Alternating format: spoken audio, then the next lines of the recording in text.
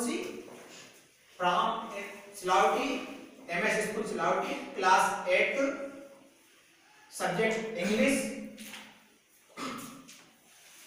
में आज आप लोगों को लेसन 15 ए सीक्रेट के बारे में बताने जा रहा हूँ इस लेसन में एक पेड़ दिया गया है इस पेड़ पर एक पक्षी है, एक घोंसला है और एक व्यक्ति इसको, एक बच्चा देख रहा है। इसके ऊपर ही हम क्वेश्चन बनाएँगे क्वेश्चनों के आंसर आप लोगों से पूछेंगे। पहले हम इसका अर्थ जान लेते हैं। देखिए, मैंने यहाँ पे बताया गया है, चित्र के माध्यम से पेड़ बनाया, पक्षी बिठाया उस पर इसके अलावा यहाँ पे घोंसला बनाया हुआ है, ये बालक देख रहा है। और इसके ऊपर जो हम गतिविधि करेंगे उसके ऊपर हम एक क्वेश्चन बनाया तीन क्वेश्चन पूछेंगे आपसे। आइए हम शुरू करते हैं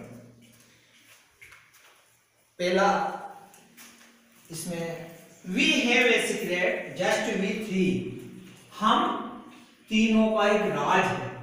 The robin and I at the sweet cherry tree. Robin एक पक्षी और मैं और चेरी टेबल एक पेड़, तीनों का एक राज है। The bird told the tree and the tree told me यानी पक्षी कहता है पेड़ से और पेड़ कहता है मुझसे। And nobody knows it but just we three और इस राज को कोई नहीं जानता है।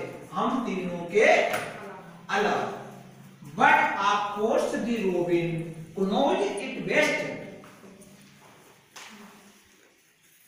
परंतु परंतु अवश्य रोबिन पक्षी इसको भली भांति जानता, जानते हैं, क्योंकि वह बनाते हैं शेष में नहीं बनाऊँगा, बताऊँगा।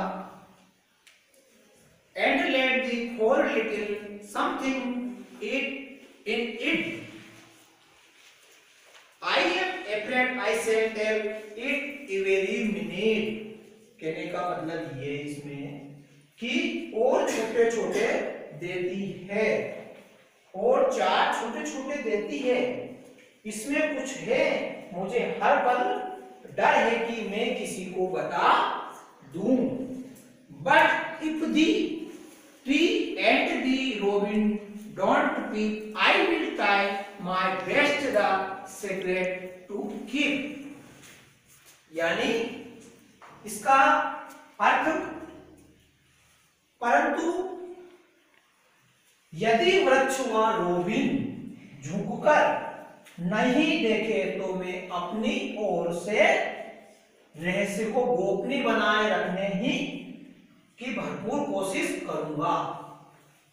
आगे देखिए though I know when the birds fly out then the full secret will be out यद्यपि मैं जानता हूँ कि, यद्यपि मैं जानता हूँ कि जब छोटी चिड़िया उड़कर बाहर जाती है, बाहर जाएगी तब वह सारा रहस्य, सारा राज बाहर आ जाएगा। ये हमने लेसन 15 ए सेक्रेट एक रहस्य के बारे में जाना।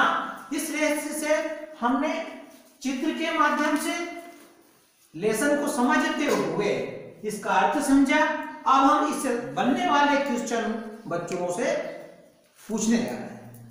Please stand up your question where do birds live पक्षी कहाँ रहते हैं? Birds, birds their nest on the tree tops and and they live there. पक्षी अपना घोंसला पेड़ वृक्षों पर बनाते हैं वे वहीं पर रहते हैं। थैंक यू बहुत अच्छा। बेटी प्लीज़ सिट डाउन बच्ची ने पहले क्वेश्चन का बहुत अच्छे जवाब दिया। अगले क्वेश्चन हम करने जा रहे हैं। दूसरे क्वेश्चन हमारा बनता है डू दे ले देयर इस। वे अपने अंडे कहाँ देते हैं? They layer their eggs in their nests. वे अपने अंडे घोंसले में देते हैं। वेरी गुड बहुत अच्छा बैठ जाइए प्लीज़ सिट डाउन नेक्स्ट अगले क्वेश्चन में करने जा रहा हूँ do you remember any poem on birds क्या तुम्हें पक्षियों चिड़ियों पर कोई कविता याद है? Yes, I remember a poem on bird day birdie comfort by Tennyson. Very good बहुत अच्छा प्लीज़ सिट डाउन बैठ जाइए सर हिंदी